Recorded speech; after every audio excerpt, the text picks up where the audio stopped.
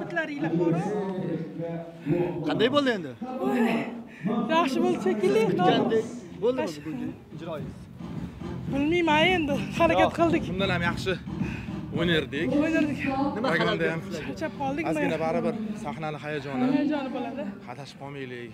Mana bu ustozlarni shuncha mana to'rt kundan beri o'rgatgan bizani mehnatini bir yuzini yerga qaratib qo'ymaylik bir mas'uliyat bilan yana partnyor sifatida anjelani ish qilib bali tushib qolmasin mas'uliyat bilan.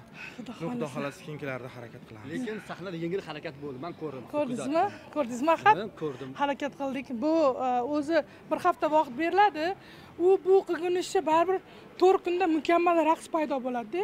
Shuni ham hisobga olishini so'rardim man tomoshabinlardan to'rt kun ichida bunaqa raqs o'ynash qiyin. Shuning uchun endi ichkarida gaplashamiz qolganlarini